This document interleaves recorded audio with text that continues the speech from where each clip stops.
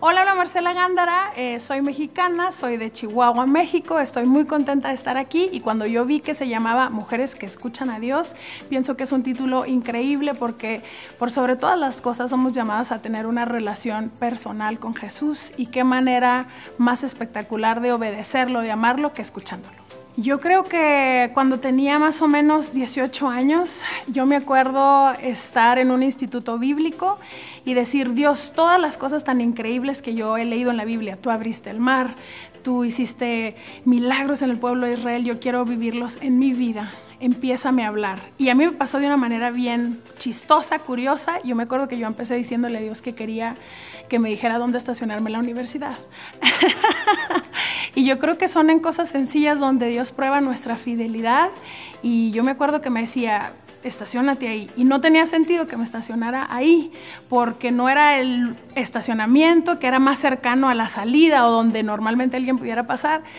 Y dije, bueno, voy a hacer caso. Y salía una persona de ahí del estacionamiento.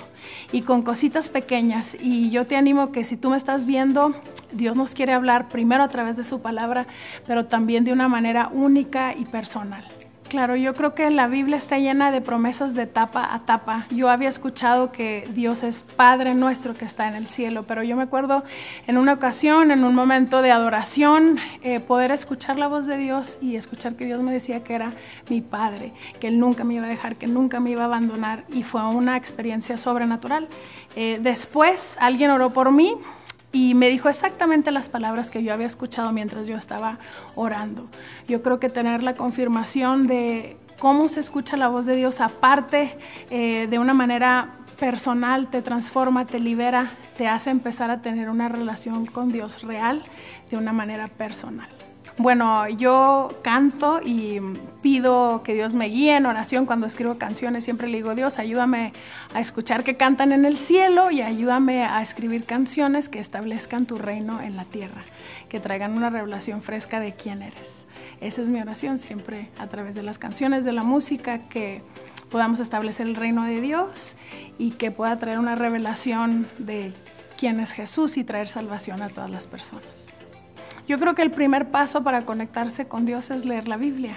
Es un libro que cuando lo lees, hemos escuchado muchas veces, el autor está presente y dice que eh, discierne los pensamientos, las intenciones del corazón y te habla de manera específica según la necesidad por la que estemos atravesando. Mi mejor consejo es que empecemos a leer la Biblia porque la Biblia nos transforma y es la manera más real de escuchar a Dios.